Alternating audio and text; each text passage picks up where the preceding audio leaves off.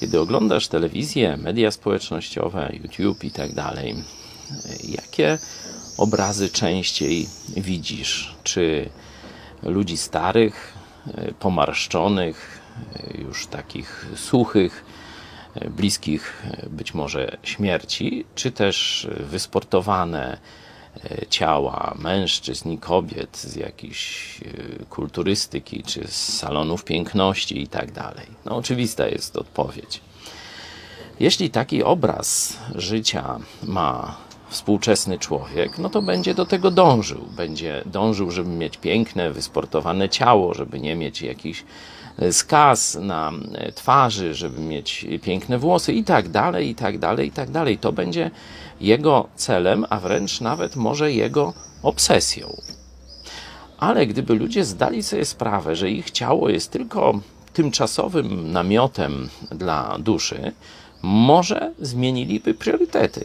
Dlatego od czasu do czasu warto pomyśleć o swoim ciele jako o już starym ciele.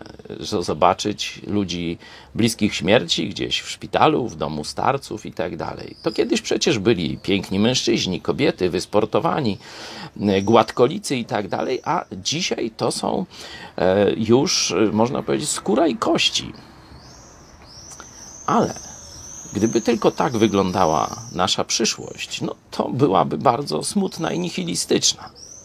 Pismo Święte jednak mówi, że nasz zewnętrzny człowiek każdego dnia się starzeje, czyli nasze ciało jest coraz gorsze każdego dnia, nawet jak ma jakieś przebłyski e, nowego mięśnia czy, czy czegoś takiego.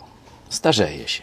Ale u chrześcijanina duch odnawia się każdego dnia, czyli twoje ciało jest coraz gorsze, a twój duch coraz bardziej przygotowany na spotkanie z Jezusem. Ważne, byś w ten sposób myślał o swoim życiu. Nie jako o krótkiej, doczesnej chwili, ale jako o wieczności.